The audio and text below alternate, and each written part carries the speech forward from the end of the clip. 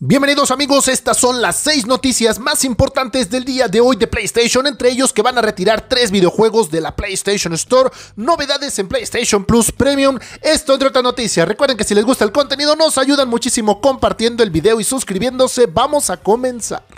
Y así es amigos, ya están disponibles los nuevos videojuegos del catálogo de PlayStation Plus Extra y Premium, son los que estás viendo ahorita y pues básicamente ya lo saben, yo le recomiendo el Immortal Phoenix Rising, además de lo que es el Ghostwire Tokyo, me parece lo más destacado de este mes, además de que, ojo, en algunos países hay una nueva prueba por tiempo limitado de Sonic Frontiers, este título pues es bastante reciente y si te llama la atención este videojuego lo vas a poder probar. De momento se sabe que solo está disponible Premium en algunos países. Como te digo, consulta porque por lo menos en México no aparece. Ya sabemos de manera oficial cuánto va a estar pesando el videojuego Resident Evil 4 Remake que está próximo a salir. En PlayStation 4 va a pesar 30 GB, además de que en PlayStation 5 ocupará 58 GB para poderlo jugar. Me parece que es bastante contenido y bueno, es razonable un título así, a pesar de que yo pensé que iba pues a ocupar más espacio, me parece lo justo, no vas a tener que borrar tantos juegos para poderlo disfrutar.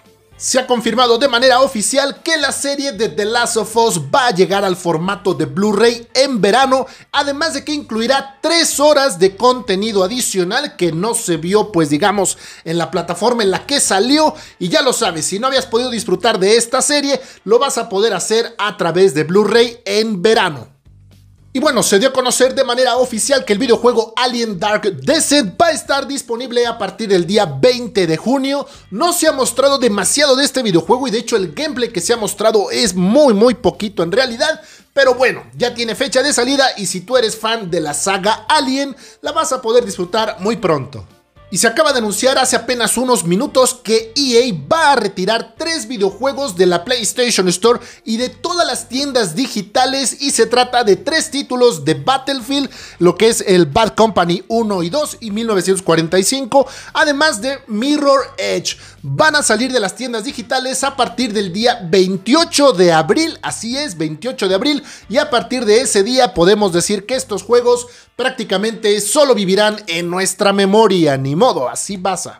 Tenemos saludos para Beto Fernández que siempre está por aquí apoyando al canal. Un gran abrazo, nos vemos en el siguiente video. Bye bye bye. Suscríbanse, activen la campanita, eso nos ayuda mucho. Bye bye.